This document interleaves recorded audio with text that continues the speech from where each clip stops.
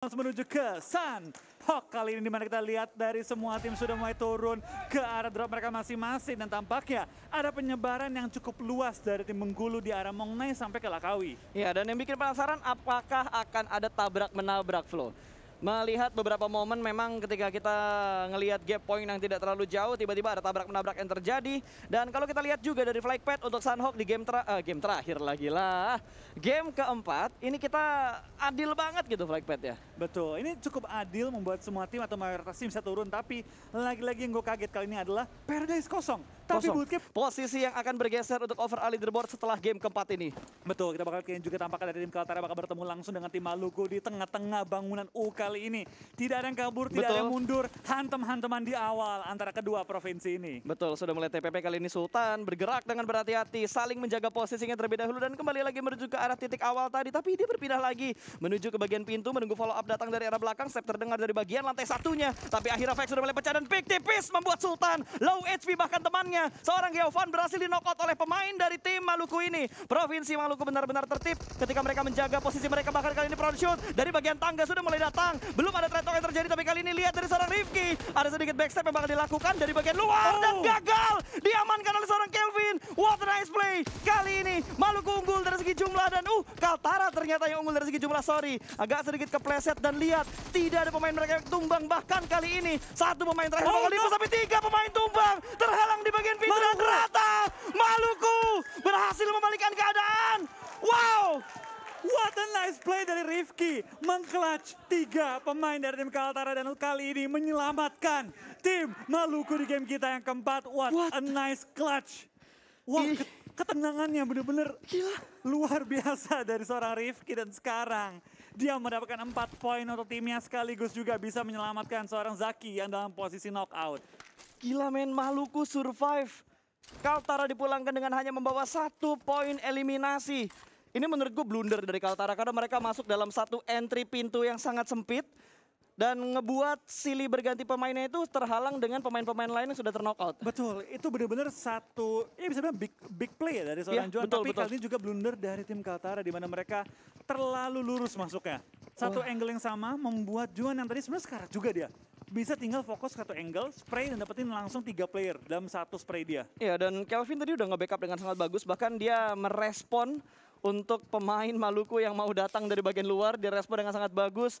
Menjatuhkan satu persatu pemain. Tapi setup dari Maluku benar-benar perfect banget. Walaupun mereka sempat melewatkan sebuah momentum. Mereka terjebak dalam satu ruangan the last man standing mereka. Tapi wow ini masih menguntungkan untuk Maluku untuk fight di awal tadi. Dan ternyata fight juga berlanjut kali ini Bengkulu yang sudah mulai menemukan lawan di sekitar mereka. Betul, itu harusnya di arah Camp Bravo. Tapi sebelum kita pindah ke Camp Bravo, tampaknya dari Maluku kedatangan tamu lagi. Di mana Bali cukup dekat dengan posisi mereka. Belum terlihat apakah Bali mau mendekat atau hanya sekedar numpang lewat di area uh, bootcamp. Tampaknya dari Wahyu dan kawan-kawan dari Provinsi Bali hanya sekedar numpang lewat aja. Memastikan Betul. rotasi mereka aman karena Maluku nggak mungkin tiba-tiba keluar dari bootcamp ngejar-ngejar mereka. Ya, dan ini dia dari tim Bengkulu yang sudah mulai menspot tadi posisi dari seorang bintang.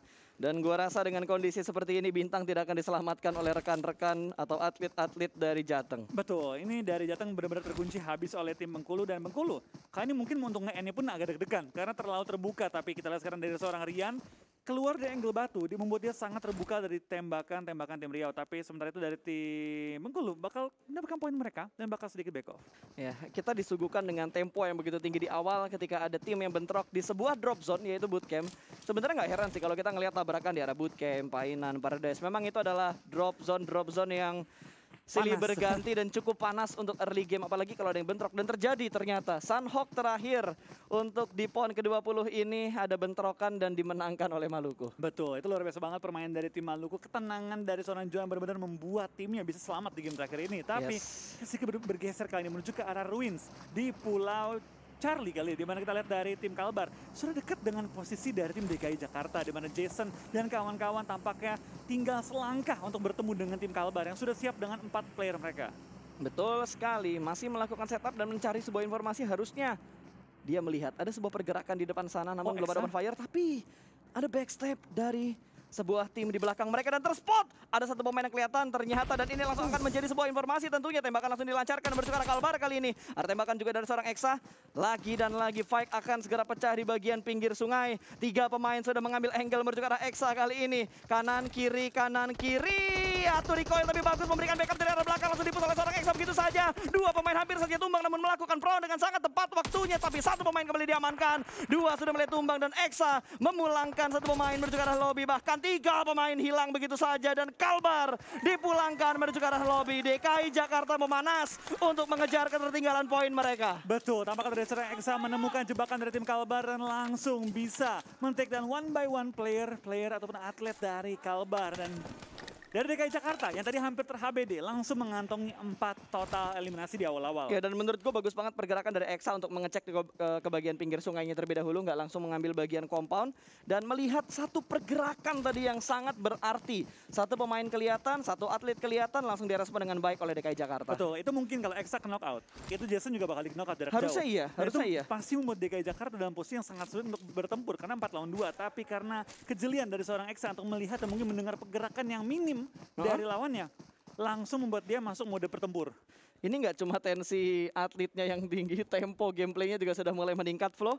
Walaupun agak sedikit up and down, tapi gue demen banget ngelihat tempo yang seperti ini. Betul, ketika kita ngomong Sunhawk, orang Yap. ngomong map kecil, map barbar. Ini Healing. yang gue maksud, ini bukan healing gitu, bukan healing. Gue seneng banget lihat semua atlet di, di PON kali ini ya, untuk di PUBG Mobile benar-benar memberikan terbaik mereka. Di Sunhawk pun bermainnya agresif semua. Ya, dan ini membuktikan juga bahwa tim-tim komunitas, terutama dari setiap provinsi yang ada di Indonesia ini udah mulai berkembang banget flow dengan wadah yang begitu banyak diberikan baik dari PUBG Mobile, bahkan dari PON kali ini dari pemerintah yang akhirnya mensupport perkembangan dari e-sportnya sendiri, tentunya memberikan kesempatan untuk para atlet-atlet ini menunjukkan potensi mereka ke depannya. Betul, betul. Ini luar biasa banget sih kesempatan yang ada kali ini dan pastinya dari semua atlet pengen juga memberikan yang terbaik Betul. selama dua hari dan tentu dengan dua game yang masih ada masih banyak sekali kesempatan nih bagi semua atlet untuk mempertunjukkan skill mereka. Ya, dan gue sebenarnya merinding mendengar teriakan-teriakan di belakang kita Iya. karena udah mulai ada taunting-taunting yang terjadi. Tidak hanya taktik yang diuji di sini, tapi mental juga sangat diuji. Betul, karena baik lagi inilah suasana offline di mana kita ketika kita melihat tim-tim bertanding itu bukan cuma masalah skill, bukan cuma masalah strategi, strategi tapi juga masalah mental. Betul, untuk menentukan mereka bisa finish dan berakhir di posisi berapa untuk overall leaderboardnya. Yes, dan kita bakal ngintip kali ini ke arah tim Banten yang sudah mulai terpantau, sudah menyeberang perairan dan berpindah lagi kali ini ke arah Camp Bravo di mana dari tim Riau dan juga dari tim Bengkulu masih saling ngelok kali ini. Betul, tapi kayaknya nggak keluar dari kompon mereka. Mungkin karena mereka masih masuk untuk circle yang pertama. Walaupun tidak semua bagian dari Bravo-nya ini masuk, tapi setidaknya mengamankan posisi mereka sementara inilah. Betul, tapi kita bakal lihat juga dari tim Riau ya. Tampaknya terlihat mereka sangat hati-hati dengan pergerakan mereka, tidak terburu-buru juga untuk keluar dari area Camp Bravo, ngintip ke belakang. Sampai ke belakang dipastikan bahwa ini nggak ada nge-backstep kita. Yes, tiga pemain mereka udah fokus. Oh sorry, dua pemain mereka udah fokus. Satunya menjaga di angle belakang. Mungkin agak sedikit eh, lebih aware lagi dengan apa yang terjadi karena mereka sudah kehilangan satu pemain si Arya ke, ke, pick off tadi kan. Betul, tapi kita bakal kayaknya juga tampaknya dari tim Riau ya. Mereka dengan uh, pergerakan yang pelan tapi pasti. Kali ini bakal coba untuk keluar dari area Camp Bravo, tapi depan mereka dari Bengkulu sudah mengunci high groundnya. Yang pastinya akan sedikit membuat uh, pergerakan dari tim Riau sedikit lambat ya. Ya, ini temponya akan menurun kembali dan masih masuk ke menit yang ke-9 kali ini. Dari Papua Barat, tim yang masih berada di posisi puncak. Mereka bergerak dengan kompak sekali layaknya sebuah unit. Nggak mau nge-split terlalu Iya. jauh mungkin. Betul, mereka pengen memastikan ketika fight, ya fightnya berempat. Nggak sampai ke pick off one by one. Mereka di daerah Kuari kali ini di sisi kirinya kalau tidak salah. Hah? Nah, sedang melewati pergudangan menuju ke arah center dari Kuari. So far so good untuk tim uh, Papua Barat dengan posisi tertinggi. Mereka menurut gue sih nggak perlu terlalu ngejar-ngejar poin. Konsisten aja. Ya. Jangan ngubah gaya main mereka. Karena yang yang kita lihat selama dua hari ini ya Papua Barat permainnya konsistennya luar biasa banget. Ya, ya, dan dan menurut gua untuk dua game terakhir ini akan sangat diuji mental dari Papua Barat gitu. Bertahan di atas tuh yang paling susah banget ketika lu mendapatkan jumlah poin yang begitu banyak, total poinnya udah cukup oke, gap ke bawahnya nggak terlalu jauh tapi Betul. itu yang ngebuat mental tuh benar-benar diuji. Antara lu bertahan dengan strategi utama atau mengubah gameplay yang yang tidak biasa mereka lakukan yang akhirnya malah ngebuat mereka jadi hancur, yang ngebuat mereka kayak nggak siap dengan gameplay yang tiba-tiba secara dadakan mereka tentukan. Betul, karena kita sudah lihat berkali-kali ya, mempertahankan puncak lebih sulit daripada tim-tim yang ngerebutin Betul. puncak tersebut.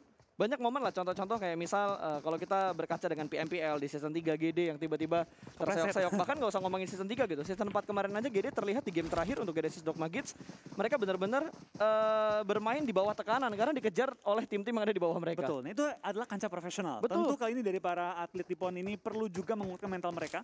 Apa pun posisi mereka, jangan sampai di dua game terakhir ini mereka merubah gameplay mereka. Karena baik lagi, mereka sudah mempersiapkan tentu beberapa minggu ini untuk gameplay terbaik. Jangan sampai diubah di detik terakhir.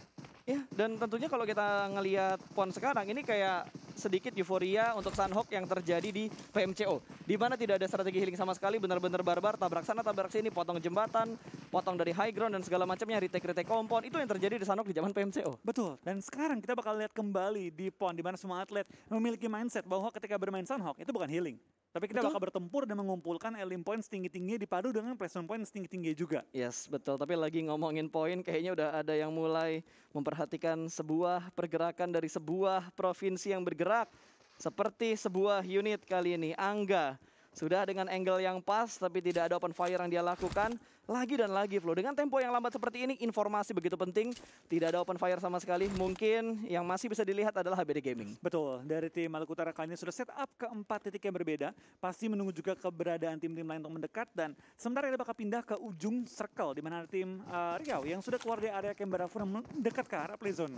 Ya dan ini mungkin kalau bisa kita bilang ya ini beberapa strategi yang agak sedikit serupa dengan tim-tim profesional Di mana kalau di Sanok rata-rata pada bermain di bagian pinggiran circle-nya terlebih dahulu Mereka bakal ambil dan amankan pinggiran circle-nya sebelum mereka masuk untuk memastikan tidak ada backstep yang dilakukan oleh tim lain. Bahkan kalau dilihat dari Maluku sendiri mereka nggak mau keluar dari drop zone mereka Mereka masih cukup nyaman karena tadi bootcamp ada di bagian tengah-tengah circle Betul, tapi kita bakal lihat juga dari Banten ya. Setelah mengambil lower ground, kan dari Sabta bakal diincar oleh tim Maluku yang tadi sempat nge-clutch di arah bootcamp sekarang sudah mulai harus mempertahankan posisi mereka. Karena Wow. tentu, bootcamp seluas itu akan coba direbut oleh tim-tim lain dan spray down dari seorang Juan hampir hampir bisa untuk men-take down seorang Axel tapi jaraknya begitu jauh membuatnya sedikit sulit untuk mengontrol recoilnya. Ya, tapi berani banget untuk Juan nembak. Ini nge-zoning out si Provinsi Banten supaya mereka nggak semakin mendekat menuju ke arah bootcampnya. Tapi di arah lain sudah mulai terlihat dengan sangat jelas kali ini apakah akan terjadi fight ataukah sebuah happy birthday yang akan terjadi. Tapi tiba-tiba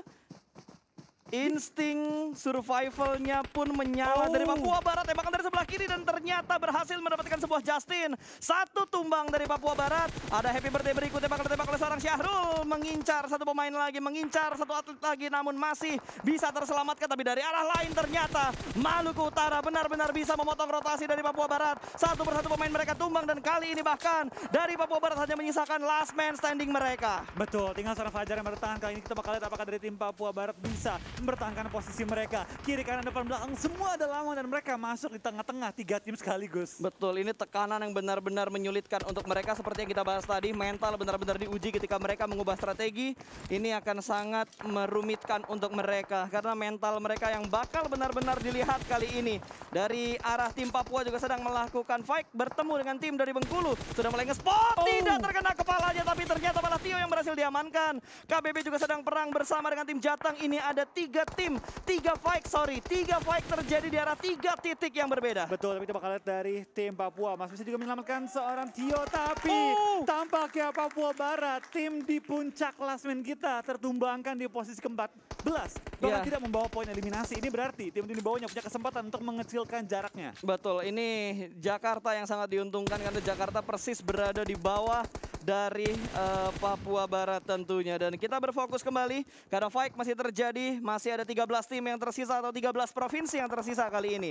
Dari tim Bengkulu, mereka tidak ingin melepaskan angle mereka dari arah tim Papua. Betul, smoke mau dilempar juga oleh tim Bengkulu kali ini menuju ke arah depan, tapi lihat zona menuju ke arah Paradise, Tatmok dan sekitarnya yang berarti Paradise harusnya akan mulai diincar oleh tim-tim yang paling dekat. Ya, yang kosong malah akhirnya diisi ya. Betul, pasti kayak gitu. Karena sekarang lihat deh, penumpukan di bagian selatan. Seramai apa, Pas? Ya ini enak banget kalau misalkan ada tim yang punya inisiasi untuk mengambil di bagian utara. Karena utaranya tuh bener-bener kosong banget, melompong di selatan itu ada tujuh tim kurang lebih yang akan memperebutkan dan mengamankan jalur masuk mereka dari arah selatan. Betul, kita bakal lihat dari tim Bali, tim yang sempat terpantau di area bootcamp sekarang berdekatan dengan tim Banten yang tadi juga melakukan setup di bagian lower groundnya. Tapi sembari zona ketika bergerak tentu ada beberapa tim yang akan melakukan straight strike ke arah Paradise ataupun ke Tatmok. Yes, dan lihat yang dilakukan oleh seorang Wahyu juga masih bergerak pelanan pasti. Mereka melakukan split dua-dua dan dilihat dari pergerakannya kayaknya bakal ada follow up untuk membantu dan memotong rotasi untuk beberapa provinsi yang berusaha keluar dari arah bootcamp. Banten pun nggak punya ruang gerak yang terlalu banyak. Satu pemain mereka terjebak di arah sungai, mereka mau nggak mau harus menuju ke bagian bibir sungai yang lebih landai supaya kembali ngeri grup dan kembali bergerak semakin dalam ke bagian circle-circle berikutnya. Betul. Sembari itu bakal lihat juga dari tim Papua mulai terpantau di luar area Paradise. Mereka mengambil compound yang biasanya kerap direbutkan juga oleh tim-tim profesional. Ini tempat yang sangat enak, yep. tapi tentu tempat enak adalah tempat yang juga diincar oleh tim-tim lain atau minimal dilihat oleh tim-tim lain. Oke, kali ini kita lihat di sekitar Paradise sudah mulai ada tim yang melakukan setup Bahkan uh, cukup berani untuk mengamankan sebuah compound satu rumah satu orang sepertinya yang akan dilakukan oleh Papua saat ini. Huh, wah akhirnya kita melihat kali ini Jateng bertemu dengan KBB dan Bali juga bertemu dengan Banten. Ada lagi-lagi dua fight di dua tempat yang berbeda. Betul, lagi-lagi dua fight yang terjadi dan memasuki zona keempat. Biasanya kalau kita lihat Sunhawk ya, zona 4 OTW zona 5 itu zona di mana semua tim akan bertempur. Yep, dan posisi dari Banten ini nggak enak banget sih. Mungkin mereka aman dari high ground kanan, tapi dari arah kiri belum tentu angle mereka aman. Walaupun mereka masih berempat mengatur angle dengan sedemikian rupa, tapi harus tetap harus tetap waspada karena tembakan bisa datang dari arah mana pun dan lihat Akbari yang sudah mulai membuka posisi semakin mendekat ke sebuah provinsi. Tapi apakah akan ada bonfire?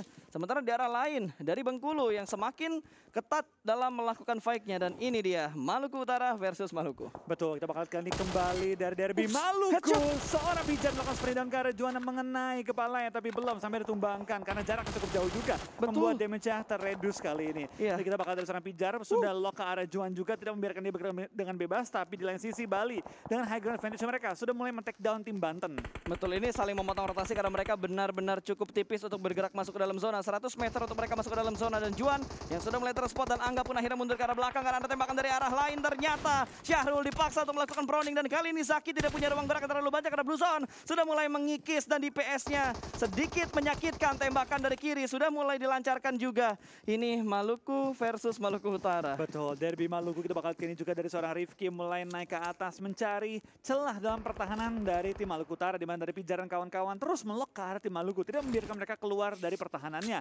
Kita bakal lihat ini zona pun sudah menutup dan akan mental ke arah mana. Kita bakal tampak ya Waduh. Tatmok bakal laku, laku, laku banget di mana dari tim DKI Jakarta. Satu-satunya tim yang ada di kiri atas mendapatkan zona sepenuhnya untuk diri dia sendiri. Iya dan Kalsel satu-satunya tim yang sudah masuk ke dalam zona. Betul.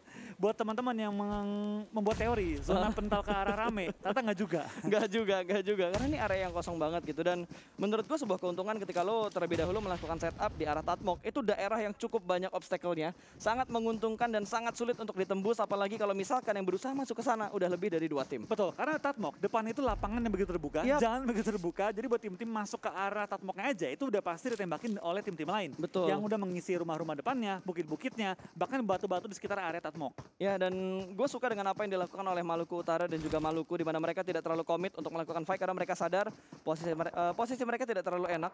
Terlebih lagi kalau misalkan mereka masuk ke dalam zona, blue zone yang menutup, mereka bakal bergerak kembali. Seperti yang dilakukan oleh tim Jambi kali ini yang agak sedikit terpotong ketika 300 meter jarak mereka menuju ke dalam zona, sudah dipotong oleh tim Jateng kali ini. Ada trade talk yang terjadi, sementara Farhan masih mencari sebuah angle, ada tembakan dari arah sebelah kiri cukup cepat. Respon yang diberikan oleh tim tersebut. Kali ini Reza akan berusaha untuk melakukan revive dan harusnya mereka masih bisa bangkit dengan tiga pemain dari tim Provinsi um, Jambi. Betul, tapi dari tim Jateng kali tinggal menyisakan dua player mereka. Zona pun sudah mulai bergerak, yang berarti semua tim udah harus bergegas menuju ke arah zona selanjutnya. Oh, Syarif dari belakang. Dari belakang tampaknya Raihan menemukan seorang Syarif yang tinggal menyisakan seorang Rio bertahan sendiri. Betul, tembakan langsung dan headshot ke arah Yudi namun masih belum bisa mendapatkan sebuah knockout yang diberikan ke arah tim Jambi. The last man standing kali ini harus menghadapi empat punggawa dari Provinsi Jambi. Apakah bisa karena ada Bengkulu yang siap mengganggu pertempuran ini. Betul, kita bakal sprint kembali dilakukan oleh seorang Yudi mencari Rio yang ada dalam rumah tapi belum menemukan targetnya.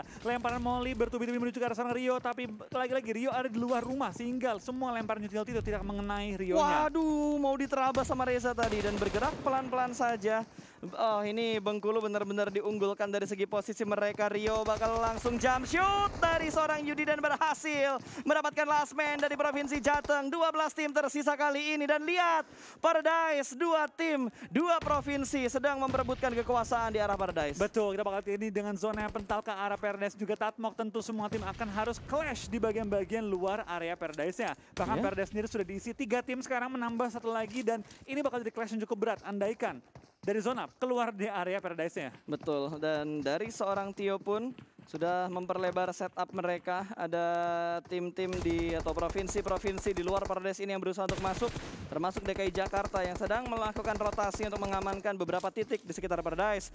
Dari Bengkulu, kembali lagi kita menuju ke arah Bengkulu yang sudah mendapatkan beberapa tempat yang cukup nyaman untuk menghalangi eh, provinsi-provinsi lain touchdown ke arah Paradise-nya. Ya, kita bakal lihat dari seorang Raihan kali ini bakal coba untuk menjaga sisi luar dari Zonanya. zonanya dan zona keluar di area Paradise. Tapi dari tim Papua masih mendapatkan satu bangunan tepat Betul. di luar area Paradise-nya. Iya dan ini di Paradise bakal chaos banget pastinya. Rian harusnya sudah bisa merespon satu pemain ada Farhan di depan sana. Belum ada tembakan pasti dari seorang Rian tapi ternyata masih tertutup dengan sebuah broken wall. Dan Kalsel sedang perang dengan Banten. Satu pemain berhasil diamankan kali ini. Bali juga sedang melakukan fight kali ini dan Tio melemparkan sebuah nage ke arah depan sana. Arah smoke yang sudah di setup oleh tim dari Provinsi Bali. Dua granat bakal dilemparkan meletup. Splash damage masuk namun masih belum bisa mendapatkan sebuah knockout. Ada tim lain yang dipulangkan. Ada Maluku yang sudah dipulangkan menuju ke arah lobby. Betul, 11 tim tersisa, 35 masih alive. Kita lihat kali ini dari tim Maluku dipulangkan ke arah lobby. Dari tim Bengkulu masih pengen masuk ke arah zona, tapi dihalangi oleh tim Riau di mana Juan dalam posisi knocked out kali ini. Kita bakal lihat tampaknya dari Maluku Utara juga menyusul di posisi ke-11. 10 tim tersisa, 33 yang masih alive. Ya, ini Riau masih ada dua pemain aktif mereka yang sudah berhasil bergerak ke arah sebelah kiri dan kayaknya nggak disadarin oleh tim yang memotong rotasi mereka tentunya. Dan dari tim Bengkulu atau provinsi Bengkulu mereka dipaksa keluar dari arah Paradise. Dari Bengkulu pun ada satu pemain mereka yang bakal mengontrol ke arah sebelah kanan melihat satu pemain dari balkon. Masih belum bisa mendapatkan sebuah knockout tapi dari Hakim. bagian kanan tidak dicek ternyata Riau. Mengganggu pergerakan yang sedang dilakukan oleh tim dari Bengkulu. Provinsi Bengkulu satu dari pemain mereka bakal tumbang dan langsung dipulangkan arah lobby. Fatia juga bakal menyusul rupanya satu persatu sudah mulai tumbang Bengkulu. Habis mensandwich habis memotong mereka diganggu oleh tim lain Betul, dari Bengkulu tinggal menyisakan dua player, tapi dari sisi belakang ada Reza yang menembak, Wah. tapi ditumbangkan juga. Raihan dengan sangat tenang, ngeflick ke arah DPS. belakang, tapi Uh. Papua siap untuk menghadang tim Bengkulu. 9 tim tersisa, 22 yang masih live, tinggal Sulut, Kalsel, dan juga dari tim Jakarta yang masih lengkap dengan 4 member mereka. Betul, bahkan kalau kita perhatikan dari arah live statusnya Jakarta sudah mendapatkan 7 eliminasi. Sementara dari Bengkulu mendapatkan 9 eliminasi tapi mereka sudah dipulangkan ke arah lobby. Kevin sudah mulai terspot, dua pemain cukup aware kali ini ada Roland dan berhasil memulangkan Rio arah lobby. Dari Papua menambah pundi poin eliminasi mereka. Berpindah ke arah lain di mana dari Provinsi Bali masih memperhatikan pergerakan di kompon depan mereka. Betul, zona pun langsung dikuasai ada yang oleh tim. Jakarta. Tapi lihat dari Wahyu bakal nembak arah Salman. Tapi lihat dari tim Jakarta, tiga orang masuk ke zona. Ada seorang Bagas yang ditinggalkan di sisi bagus ditinggalkan sisi belakang. Tapi ada satu tim lainnya yang pengen coba mengambil posisi Ini- mereka. Ini lo lihat di minimapnya, Flo. Ya, Lo lihat di minimapnya. warna biru? Ada warna biru di belakang mereka. Ini Berarti ada- sekali spray, dua pemain bisa diamankan. berarti KBB nih. Harusnya iya. Mana biru-biru? Oh, Jambi. Oh Jambi. Ada Jambi. Bisa Oh. split dua berarti mereka Betul, ya? mereka nge-split Jambi-Jambi ya. Mereka nge-split dan sepertinya Bali dipulangkan menuju ke arah lobby. Ada gangguan demi gangguan yang diberikan begitu saja. Sementara dari tim Jakarta, mereka menambah pundi-pundi poin eliminasi mereka. Dari Bagas masih melontarkan granat ke arah tengah-tengah dari smoke ini. Sementara KBP pun dipulangkan menuju ke arah lobby. Lima tim tersisa. Ya, 5 tim tersisa, 14 yang masih live. Tapi lihat dari tim Jakarta menghalang pergerakan dari untuk masuk ke arah zona lebih dalam lagi di mana Bagas. Seorang diri menahan tiga orang yang dikirim oleh tim Sulut. Tapi sekarang backup sudah datang. Kita bakal Oh, granat. Jason. Bakal harus menghindari bom yang dilempar. Dan dapatkah dari tim DKI menahan Uh. gempuran dari tim Sulut di belakang mereka. Betul, satu pemain berhasil diamankan. Ada yang tumbang tuh tapi belum di revive. Ini Waru cukup dekat. Bisa memberikan backstep di tengah-tengah smoke menjadi ninja. Tidak disadari tapi apakah Zona, bisa memberikan sebuah informasi. Tapi zona yang begitu menyakitkan membuat satu pemain mereka tumbang. Tiga tim tersisa Jakarta, Kalsel dan juga Sulut. Yang hanya menyisakan last man standing untuk Sulut. Betul, dan tampaknya dari Jakarta mendapatkan total 10 eliminasi kali ini. Tapi dengan kondisi di mana mereka terpojok di luar zona, di mana dari Kalsel dengan sangat sabar bisa langsung mengambil area rumah. Wow, ini udah chaos banget tentunya dengan keempat pemain dari DKI Jakarta yang masih tersisa. Kalsel juga masih utuh empat pemain mereka. Kali ini empat lawan empat lawan satu. Betul, kita bakal dari Kalsel tampaknya dengan 4 lawan 4. Ini bakal jadi game yang pastinya endingnya seru banget karena zonanya nggak Ini memihak healing siapa pun. ya? Iya, Vincent healing. Dia bisa healing dengan 20 first aid, tapi di, di terakhir-terakhir healingnya. Oke, apakah akan maksimal healing yang sedang dilakukan oleh Vincent? Karena ini fight terakhirnya bakal chaos banget untuk dua tim yang tersisa, 4 lawan 4. Oh, tapi lihat dari seorang Bagas sudah mulai mengambil flank position terhadap tim Kalsel, di mana tiga member lain dari tim Jakarta sudah masuk ke arah ujung dari zonanya. Satu player ditugaskan untuk coba menarik eh, perhatian dari pemain-pemain Kalsel. Betul, dan pergerakan dari Jason juga begitu berhati-hati. Tempo yang benar-benar turun untuk dua tim yang tersisa kali ini yang siap untuk melakukan fight karena satu provinsi yang ada di bagian luar akan tetap fokus untuk melakukan healing. Betul, dari Salman sudah mengambil rumputan Oh-oh. untuk menutupi visionnya, tapi ah, dia akan bergerak bersama dengan juga Blue Zone, berdekatan dengan seorang Oh. Bagas, tapi tampaknya Bagas menyadari bahwa ada yang lagi ngepron, sudah mulai dikejar, lompat-lompat cari vision, tapi bakal tarik mundur dan kembali menyatu dengan teman-temannya. Oke, sudah mulai ngeri grup empat pemain dari DKI Jakarta pastinya dan ada tembakan dari Salman membuka posisi yang ternyata direspon dengan sangat cepat oleh seorang Bagas Linpi kanan kiri kanan kiri masih belum bisa mendapatkan hitmarknya ke arah Salman. Betul. Lagi-lagi tempo yang tiba-tiba naik kembali menurun. Betul, kita bakal lihat dari tim Jakarta juga dengan mengetahui bahwa ada flanker yang sudah mengambil bagian lower ground. Tampaknya Bagas akan coba untuk naik ke atas batu, membuka vision lebih luas lagi, tapi belum menemukan di mana Salman berada. Tapi Oh, lihat dari seorang? Jason, depan-depan dengan seorang Ariski, akan mereka bertemu kali ini atau akan hanya ada pron dari seorang Ariski dalam upaya menemukan informasi spray down dari Jason Belum. hampir mengenai targetnya. Belum. Sabar. Sa- Uh, panci mau dilempar. Sedikit mengambil sebuah keberuntungan kalau connect. Tapi sepertinya sudah didengar. Responnya dari bagian belakang sudah ada pergerakan dari pemain-pemain yang ada di sekitar DKI Jakarta. Bermain petak umpet kali ini bakal muncul. Melakukan tembakan namun masih belum bisa mendapatkan sebuah knockout. Harus melakukan Knock reload. Tapi bakal ada backup yang cukup cepat dari DKI Jakarta. Kalsel. Satu pemain mereka tumbang dan satu pemain cukup low. SP bar-nya sudah mulai terspot. Dua pemain tumbang. Tinggal dua player aktif dari Kalsel yang bisa menghadapi pemain-pemain dari DKI Jakarta. Trade talk terjadi tapi tidak terlalu cepat dan lagi-lagi tumbang. Last man standing Aulia terakhir di bagian belakang sebuah batu yang sudah di-spot oleh tiga atlet dari DKI Jakarta. Yes, dari Jakarta sudah mengontrol juga area zona. Tiga player bakal maju ke depan juga di Bagas Uh-oh. memimpin serbuannya Uh-oh. terhadap seorang Aulia. Spray down rada. Dapat satu. Aulia tapi ditumbangkan. Tapi Gak akhirnya bisa. DKI Jakarta mendapatkan winner-winner dinner kita di game kita Sunhawk kali ini. Wow, permainan yang begitu intens.